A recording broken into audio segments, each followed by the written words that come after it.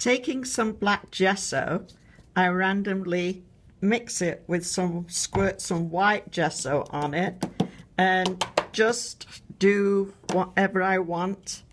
And then I place my board or a piece of paper over it and then lift straight up and I have a shape. And I see I want some, can move it and lift it straight up again. And that is a very nice effect that I can already see I'll do something with.